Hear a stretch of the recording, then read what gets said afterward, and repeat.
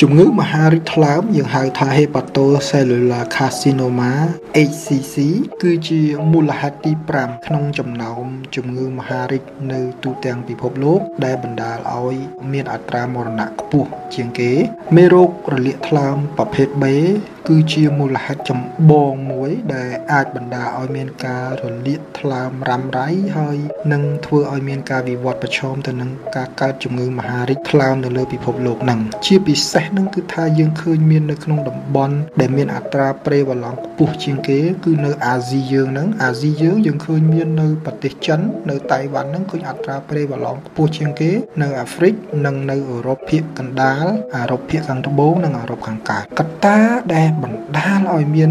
ជំងឺរលាកថ្លើមប្រភេទ B ហើយវិវត្តទៅកើតមហារីកថ្លើមហ្នឹងវាមានកត្តា4ចំណុចសំខាន់សំខាន់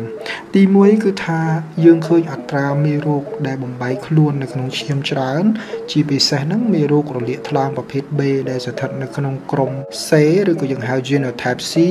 ឬក៏ genotype D មានន័យថាមេរោគថ្លើមប្រភេទ B ស្ថិតនៅក្នុងពូជ C ឬក៏ពូជ D ហើយអ្នកដែលមានវ័យចាស់ចាស់ជាពិសេសអ្នកដែលមានជំងឺរលាកថ្លើមប្រភេទ B ដែលមានអាយុលើសពី40ឆ្នាំទៅហ្នឹងគឺថាឃើញមានអត្រាប្រឈមជាមួយនឹងការកើតមហារីកថ្លើមហ្នឹងខ្ពស់ជាងគេ ហើយអ្នកដែលបានឆ្លងរោគថ្លើមប្រភេទ B ហ្នឹងពីម្ដាយមានន័យថា ដែលគាត់ឆ្លងពីពីពីពេលសម្រាលមកហ្នឹងគឺឆ្លងពីម្ដាយតាំងពីកើតមកហ្នឹងគឺគាត់មានមេរោគហ្នឹងគឺអាហ្នឹងមានការវិវត្តខ្ពស់ទៅរកមហារីកហើយទី4ហ្នឹងគឺអ្នកដែលមានរលាកថ្លើមប្រភេទ B ហើយគាត់ជក់បារីហើយនឹងផឹកស្រាអាហ្នឹងគឺថាកត្តាទាំង4ហ្នឹងគឺជាកត្តាដែលជំរុញឲ្យទៅរកមហារីកថ្លើមចំណែកឯវិធីសាស្ត្រក្នុងការបង្ការកុំឲ្យកើតជំងឺមហារីកថ្លើមហ្នឹង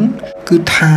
ចំពោះអ្នកដែលគាត់មិនទាន់ឆ្លង ជំងឺរលាកថ្លើមប្រភេទ B ទេ មានន័យថាយើងអត់ទាន់ឈឺថ្លើម B ទេអាហ្នឹងយើងត្រូវចាក់វ៉ាក់សាំងចាក់វ៉ាក់សាំងហ្នឹងគឺជាវិធីសាស្ត្រ ដែលល្អជាងគេហើយសម្រាប់បង្ការកុំឲ្យឈឺថ្លើម B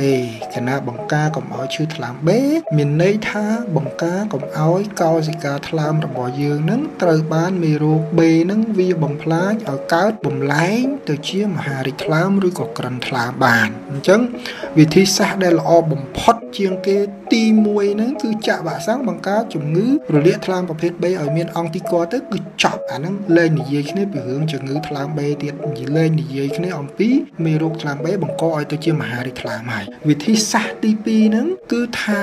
នៅពេលដែលយើង មានជំងឺរលាកថ្លើមប្រភេទ B ហើយកាលណាយើងមានជំងឺរលាកថ្លើមប្រភេទ B ហើយគឺបង្ការកុំឲ្យជំងឺរលាកថ្លើមប្រភេទ B យើងហ្នឹងបំផ្លាញថ្លើមយើងបំលែងកោសិកាថ្លើមយើងឲ្យទៅជាកោសិកាមហារីកយើងត្រូវទៅព្យាបាលនិងតាមដានពីប្រសិទ្ធភាពហើយនឹងការស៊ាំថ្នាំនៃមេរោគថ្លើម B ហ្នឹងឲ្យបានត្រឹមត្រូវជាមួយនឹងវិជ្ជបណ្ឌិតមិនមែននឹកឃើញលេបក៏លេបទៅមិនចង់លេបក៏ហីទៅធ្វើឲ្យមេរោគហ្នឹងមានលទ្ធភាពអាចបង្កឲ្យទៅជាមហារីកអាហ្នឹងគឺជាវិធីសាស្ត្រទី2ចំណែកឯវិធីសាស្ត្រទី3ចំពោះអ្នកដែលគាត់មានជំងឺរលាកថ្លើម B នឹងដែររួចទៅគាត់កើតមហារីកនៅក្នុងដំណាក់កាលដំបូងហ្នឹងគឺត្រូវគាត់ទៅព្យាបាលអាមហារីកដំណាក់កាលដំបូងហ្នឹងឲ្យបានទាន់ពេលវេលាឥឡូវហ្នឹងគេមានវិស័យវិធីសាស្ត្រទំនើបទំនើបណាក្នុងការព្យាបាលមហារីកហ្នឹងណាហើយទៅនៅពេលដែលយើងព្យាបាលអាមហារីកដំណាក់កាលដំបូងហ្នឹងបានជាសះស្បើយហើយយើងត្រូវឧស្សាហ៍តាមដានដើម្បី